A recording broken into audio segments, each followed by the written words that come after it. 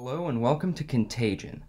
I'm Assistant Editor Grant Gallagher here with the coronavirus update for Monday, May 18th, 2020.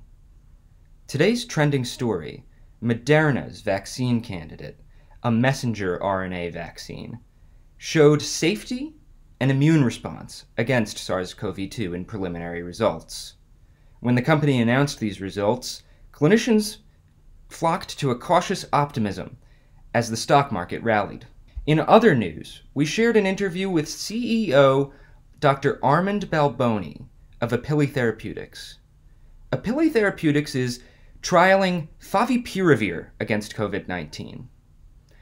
Dr. Balboni talks to me both about the treatment and about the incentives and difficult market structures for a mid sized biotechnology company. In another interview, I sat down with Dr. Miriam Isola.